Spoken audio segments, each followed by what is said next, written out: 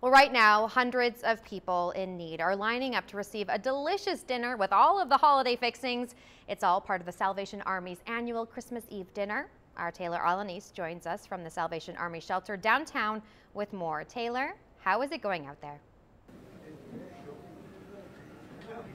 Yeah, Mackenzie, it wouldn't be Christmas Eve without some delicious food, and that's what's going on here at the Salvation Army downtown. I'm joined with Monica Barrera with the Salvation Army. Can you tell us what's going on behind us right now? Yes, yeah, so we are having our Christmas Eve uh, dinner, and this is an annual thing for us. We've been doing this for about 30 years, so um, and we're glad to do it because it just brightens the holidays. It, it's just a special moment for everybody out there, and it's just somewhere to come to to enjoy a nice meal. And I know earlier it was was just open to people at the shelter, right? What's going on now? Yes. So uh, from four to five, we had the dinner open to our shelter residents here at the Salvation Army.